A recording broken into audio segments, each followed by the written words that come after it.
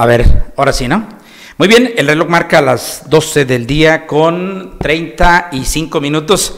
Señoras y señores, tiempo en el centro de la República Mexicana. Es martes hoy y es 21 ya de febrero. Saludamos a Pedro y a Damián porque a ellos corresponde el santoral. Qué bueno que está con nosotros en esta emisión del día de hoy que ya marca o enumera eh, propiamente el día 21, insisto, de este mes tan bonito que es el mes del amor y la amistad. A nombre de quienes eh, hacen posible la realización de este programa, por supuesto, agradecemos el patrocinio de Funeraria Carrilla, de, Funerario Carrillo, Funeraria, Funeraria Carrillo, perdón, y también de eh, materiales para construcción tiscareño también, que están ahí muy este, presentes y por supuesto Temazcal Guanín, que también está ya a disposición de todos y cada uno de ustedes aquí en Santa Juana. Déjeme decirle usted que hoy es un programa muy interesante porque el tema del día de hoy es de impugnación que hace la presidencia de la República, fíjese usted, al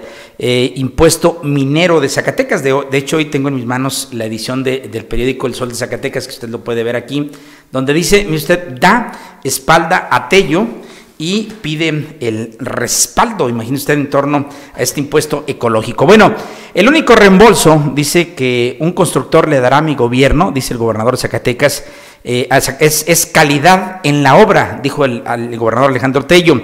Eh, déjeme decirle usted que voy a comentar con usted porque Jerez se impone como eh, la feria número uno. Las ferias nuestras, las de nosotros acá en el sur del estado de Zacatecas, bueno, quieren, pretenden pero bueno, llega Jerez y nos da una ubicación. La historia se repite como hace un año, como hace tres años, perdón, cuando Villanueva con el entonces alcalde Miguel Torres empezó con una feria con eventos gratuitos, luego le siguió Tabasco, le siguió Jalpa y cierra como siempre Juchipila, pero luego aparece la reina de las ferias que es Jerez y bueno, pues a todos nos aplaca. Bueno, cancelará 29 concesiones este, de autotransporte irregulares Guanusco fue sede de la primera fecha del serial de pesca, tendrá esta información. Autoridades del campo anuncian la cuarta feria de la tilapia. ¿Qué le parece a usted? Y bueno, déjeme decirle así muy rápidamente que, que impugnó la presidencia el impuesto minero desde la Ciudad de México bajo el alego de que Zacatecas invadió atribuciones exclusivas de la federación porque eran impuestos que agravan bienes nacionales y que parecen estar claramente dirigidos a la industria minera, el Ejecutivo Federal pidió a la Suprema Corte de Justicia eh, invalidar los cuatro impuestos ecológicos creados por el gobierno de Zacatecas. ¿Puede usted creer esto? Bueno, pues el pasado 14 de febrero, Humberto Castillejos, consejero jurídico del Ejecutivo, presentó una controversia constitucional ante la Corte para pedir la invalidez de los artículos sexto al 36 de la Ley de Hacienda del Estado de Zacatecas, así como otras normas relacionadas con los nuevos impuestos que han creado una rebelión propiamente en la entidad. Hasta el 16 de febrero, la Corte no había notificado la admisión o trámite de la controversia, cuyo desahogo,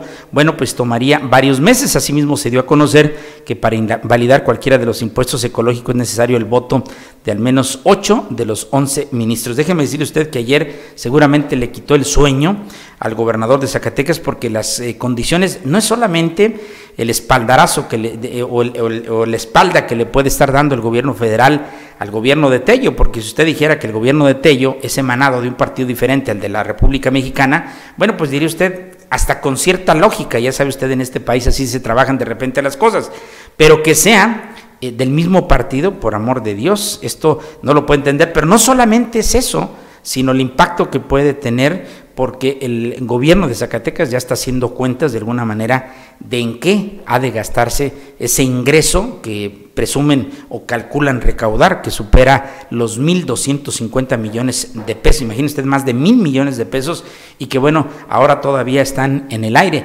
Bueno, que lo hayan invalidado los mineros o los propietarios de, las principales industrias que extraen eh, recursos naturales del Estado, bueno, pues no tendría nada de malo, pero que lo haga o que lo logre la presidencia de la República, imagínese usted. En esa nos encontramos hoy precisamente en Zacatecas.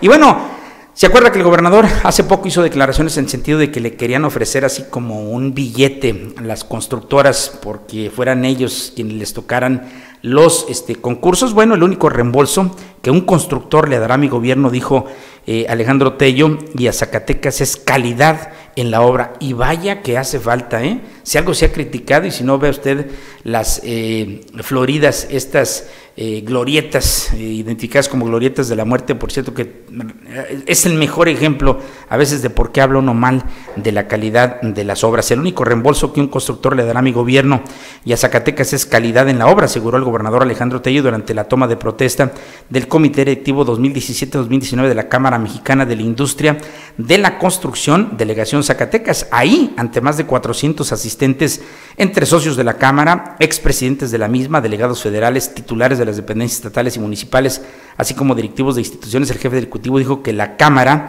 Delegación Zacatecas, ha sido la institución que ha velado por los intereses de los constructores en la entidad en los últimos 35 años. Escuche usted. Pero bueno, vamos a irnos a otra información que es la local. Este 23 de febrero será la cuarta Feria Nacional de Le comento que multas de hasta 1.200 pesos se van a aplicar o se están aplicando en Jalpa por tomar en la vía pública. Multas de más de mil pesos son los que las autoridades aplican a quien se sorprende ingiriendo bebidas alcohólicas en la vía pública.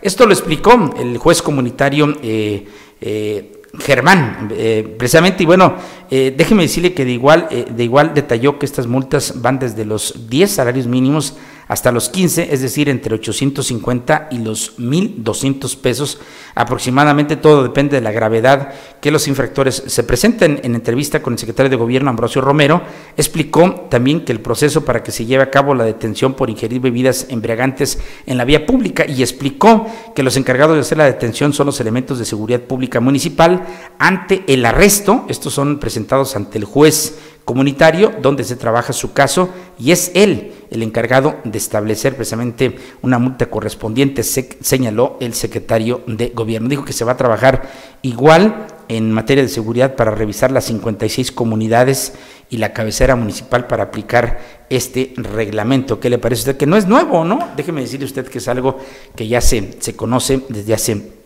muchísimo eh, tiempo. Pero bueno, déjeme decirle usted que hoy le quiero hacer un comentario que me parece muy importante.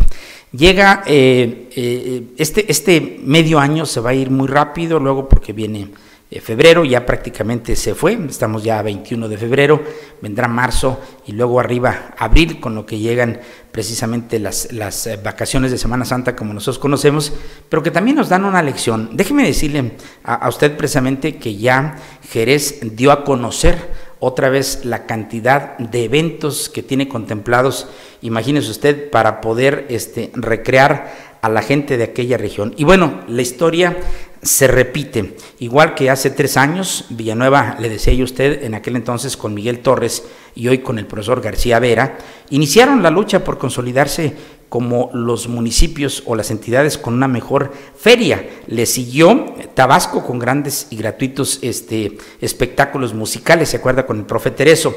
Llegó Jalpa con Edgar Viramontes y Juchipila, bueno, que dio de qué hablar también con el profesor Felipe Ibarra. Este 2017, Juchipila, hay que decirlo, llevó mano cerrando con, eh, con espectacularidad su feria y demostrando que el gobierno, bueno, pues de Rafa Jiménez trae ganas de figurar en el escenario político. Sin embargo, igual que hace eh, más de 1150 días, es decir, más de tres años, eh, llegó Jerez y puso en su lugar a los municipios del sur, ¿verdad? De alguna manera, dejando claro que esta feria de primavera eh, ¿Por qué está considerada pues como una de las tres mejores del Estado? Incluso esta feria de Jerez, usted debe de coincidir con nosotros, eh, concursa, por decirlo de alguna manera, con ferias como la de Fresnillo o la propia este, capital. Hoy, para que se dé una idea, la feria de Jerez, y aquí va el, programa, mire usted, incluye Julián Álvarez, mire usted nada más, eso quien lo trajo, ¿no?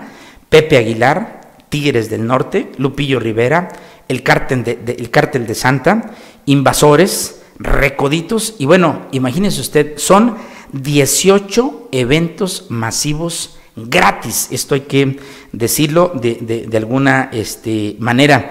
Y de esta forma, bueno, pues quedó claro que los municipios del Cañón de Juchipila, si quieren competir con este tipo de, de festividades, bueno, pues requieren de más inversión, para las fiestas de sus pueblos. Por supuesto, eh, no hay que dejar de lado tampoco la adecuación de espacios para el sano y cómodo disfruto, disfrute de estos eventos. Déjeme decirle a usted que Jerez le siguen también sus corridas de toros, que no son tan buenas. Jalpa, por supuesto, presenta mejor cartel. Juchipila presentó también mejor cartel que lo que pudo haber presentado este Jerez. Sin embargo, las corridas de toros sí vienen siendo un paseillo político en Jerez, cosa que todavía no logran tanto Jalpa y medianamente este Juchipila, ¿no?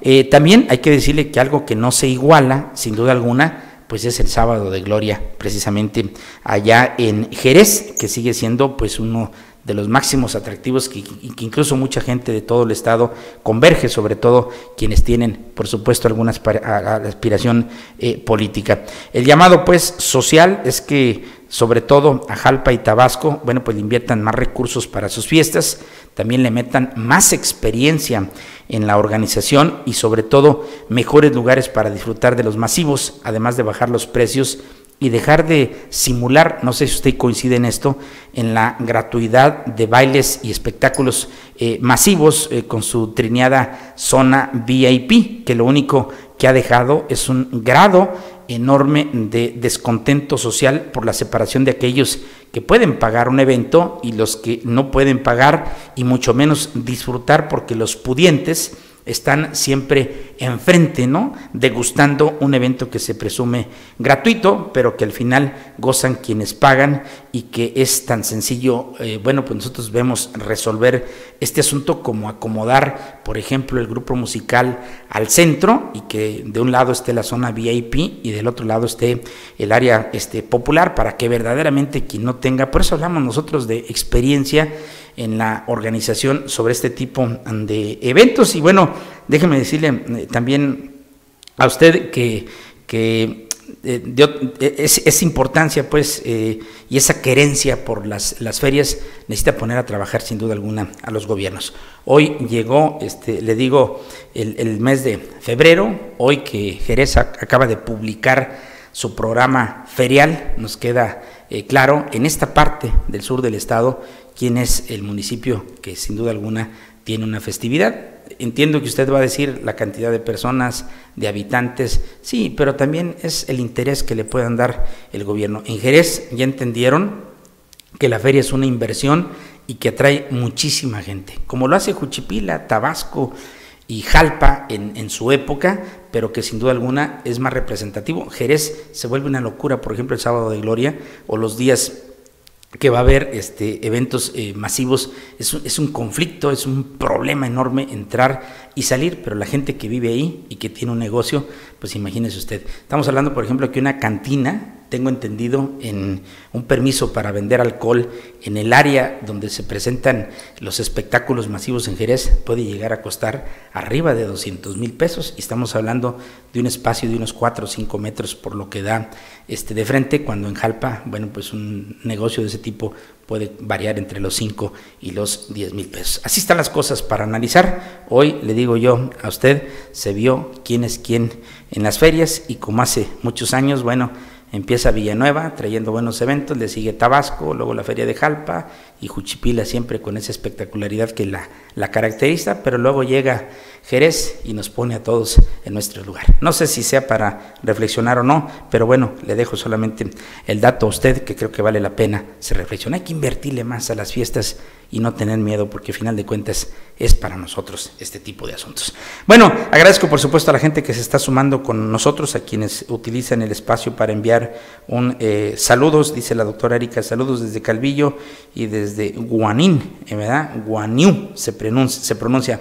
Gracias a la, doctora, saludo a Marco allá en, en donde quiera que nos esté escuchando en Texas, al Chepo Flores, a Óscar González, a, mi amigo Toño Tiscariño, ya vi la foto con el peje, por cierto, ayer allá en Chicago, ¿verdad? A Roberto Carrillo y bueno, a toda la gente que amablemente nos hace el favor de sintonizarnos, ¿no? Déjeme decirle usted que cancelarán 29 concesiones irregulares le comento que la Secretaría General de Gobierno, Fabiola Gilda Torres, estableció que la intención es cancelar las 29 concesiones irregulares que se detectaron. Expresó que en las irregularidades que se encontraron eh, con las concesiones se hizo el anuncio de que se iba en específico en esas concesiones donde se detectaron irregularidades eh, de hacerles una notificación. En este sentido, hay que iniciar un procedimiento jurídico, un procedimiento legal. Eso se está realizando a través de la Secretaría de la Función Pública y la Coordinación General Jurídica.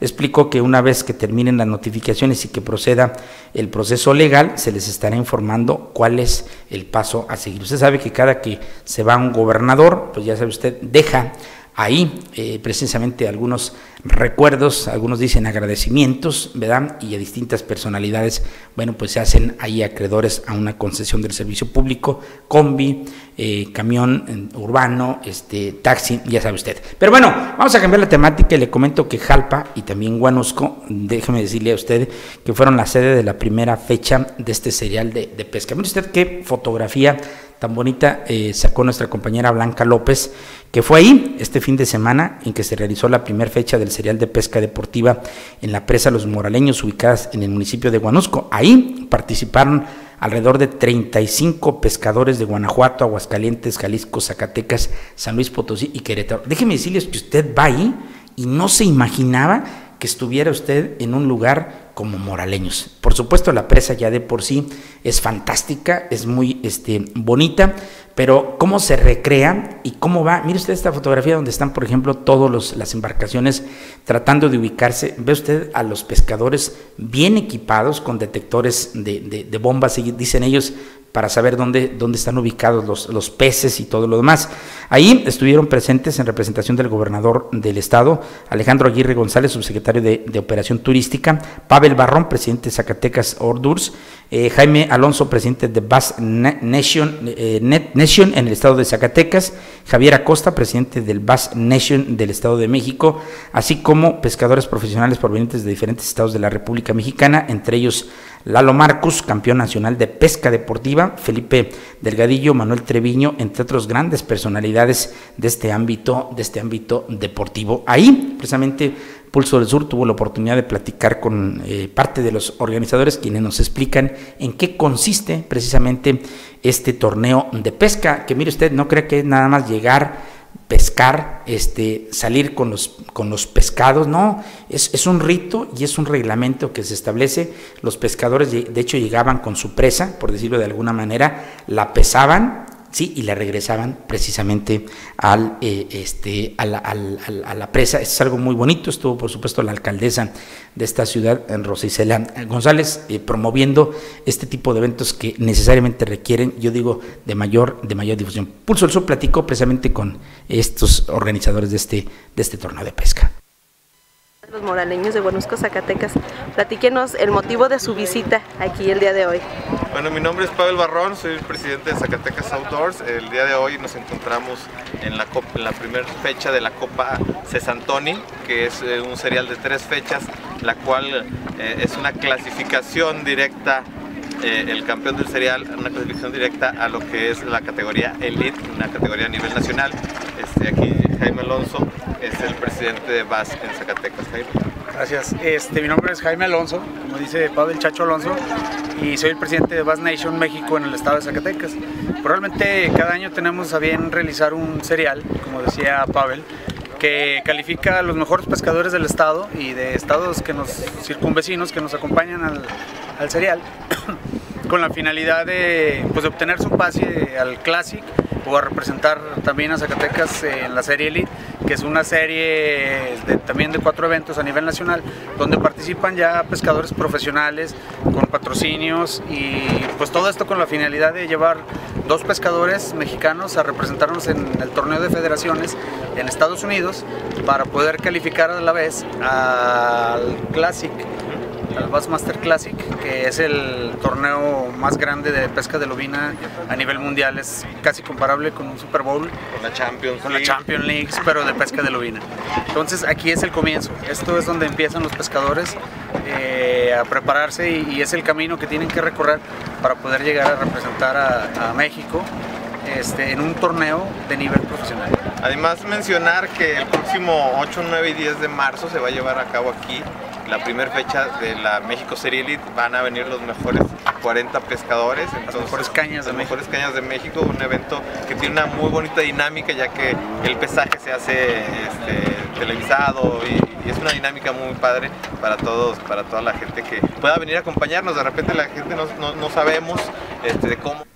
Órale, pues eh, déjame decirle que es algo impresionante, ¿eh? de veras que se, que se puede observar ahí, de mucha calidad. Nos damos cuenta pues que no hay deporte barato. Nosotros, por ejemplo, a mí me gusta el ciclismo, ¿no? Y, y le inviertes este tipo de cosas, pero que eras maravillado cuando ves una caña de pescar, cuando ves el equipo que requiere una persona, pero sobre todo ver cómo se desarrolla. Imagínese aquí en Guanusco, en la plaza de Moraleño, es un evento muy importante y ya escuchó usted, anunció, anunciaron precisamente que estarán precisamente aquí en, otra vez en el próximo, en los primeros días del mes de marzo. Vamos a tratar de darle un poquito más de difusión a este evento que me parece es importante. Quiero compartirles estas imágenes donde nuestra compañera Blanca López hizo precisamente un recorrido en lancha, la presa de Moraleños dentro de este serial Copa Cesantoni eh, aquí de pesca en Moraleños. Zacatecas, el día de hoy hay un evento eh, deporte de pesca. Vean ustedes, están asistiendo aproximadamente 32 eh, embarcaciones en busca de, del, del pez de mayor peso Estamos dando ahorita un, pequeño recorrido simplemente por este, este espacio. Vamos a ver a dónde llegamos. La verdad es una de las zonas turísticas que siéndole sincera desconocía o, muchos de, los vecinos de aquí, de, la región sur del estado, desconocemos. Ve usted la, la hermosura. Esto la verdad debería de ser un centro turístico.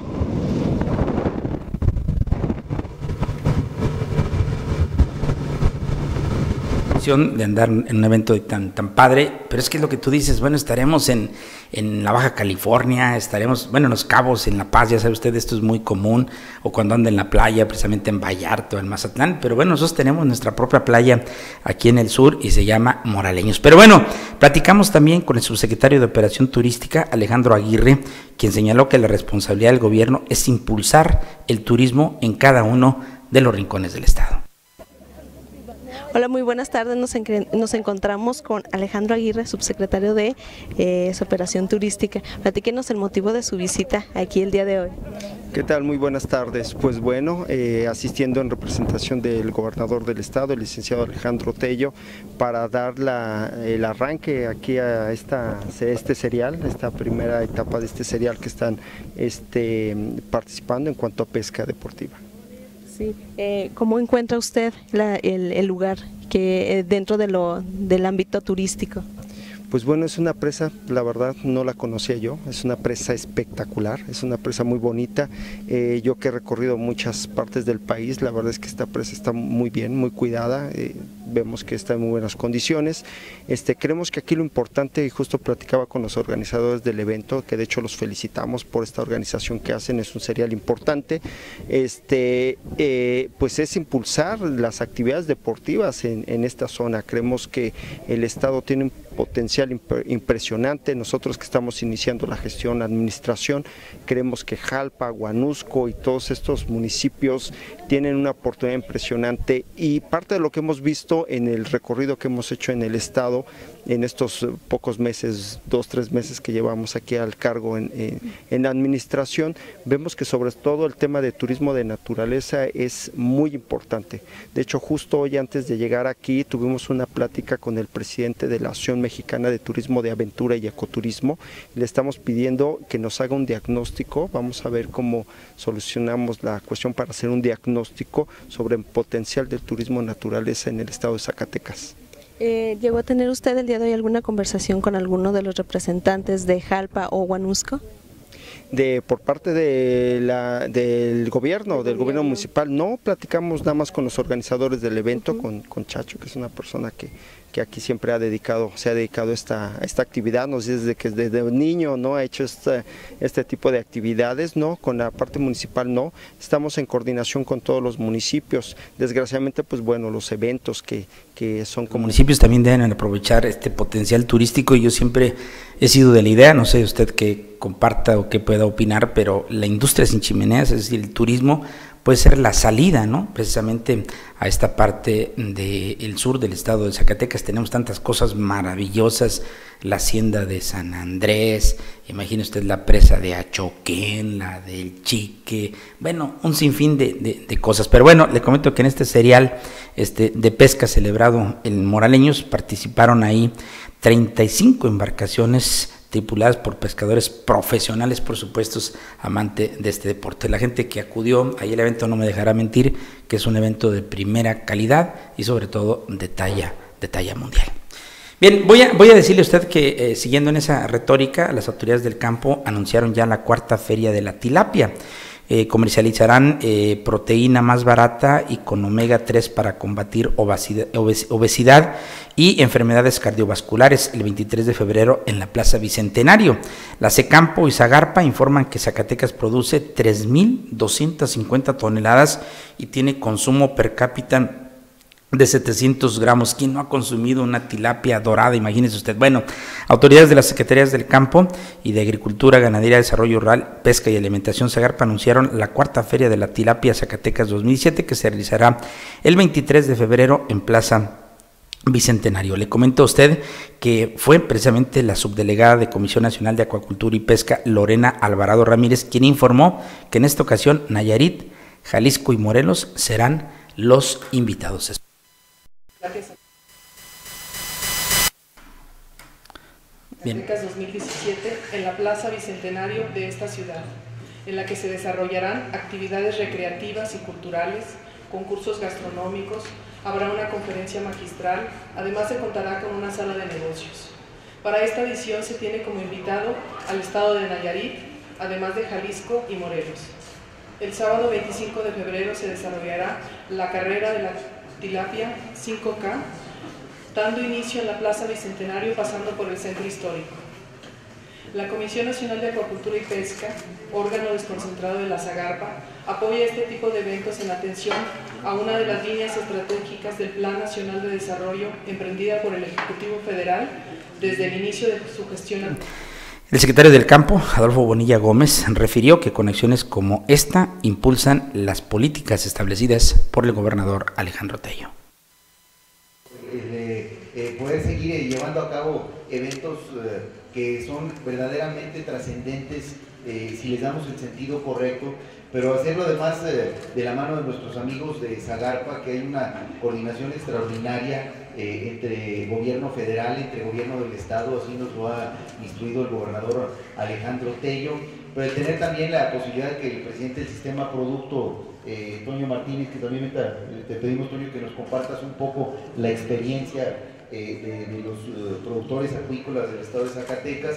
A Jorge agradecerle también el que se pueda llevar a cabo un, un, evento atlético importante, porque finalmente lo que se busca en esta cuarta edición de la Feria de la Tilapia eh, como un objetivo fundamental es precisamente fomentar, eh, incrementar el consumo eh, de, esta carne que, por cierto, pues es la más barata que, tenemos en el país, es la más digerible.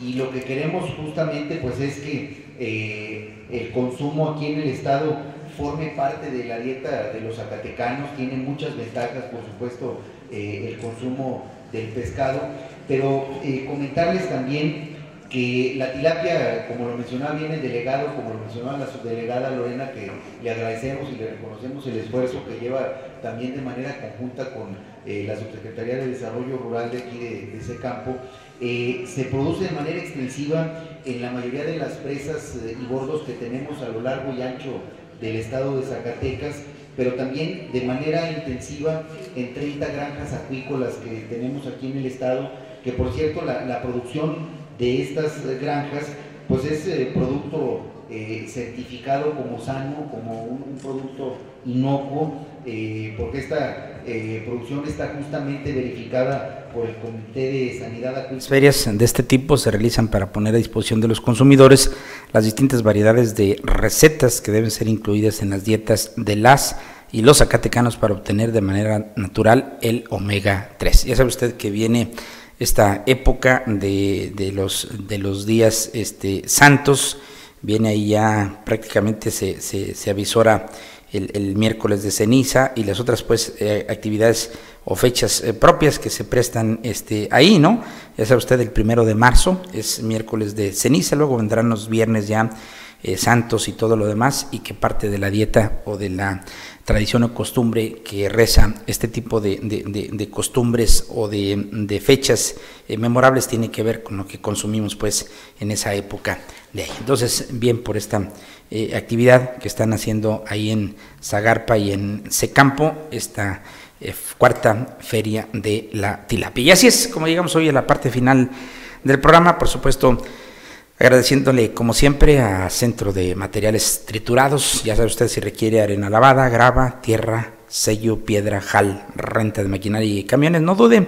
Ahí con el señor Cusberto Tiscareño en el 95 529 89 y recuerde usted que si necesitamos de promover también alguna algún evento alguna prevención bueno pues ahí están funerarias eh, Carrillo a quien agradecemos también el patrocinio de este programa por su atención como siempre y compañía muchísimas gracias nos encontramos en la próxima eh, nuestro agradecimiento a quienes se suman y nos siguen si no nos alcanzó a ver no se preocupe más al ratito estará ya disponible en redes sociales YouTube en Facebook, en podcast, en través de pulsoalsur.com, este, por supuesto, la repetición del programa. Y mañana nos, nos vemos. Estará con nosotros el rector de la Universidad Politécnica del Sur de Zacatecas y estará también la doctora eh, Erika Ortega, eh, de, que ya no nos está hablando ahora del temazcal eh, Guaniu, que ya está ahí en Santa Juana y que mayores detalles sabe usted en pulsoalsur.com, sino estaremos hablando de otros tratamientos corporales. Gracias, como siempre, nos escuchamos, buen día.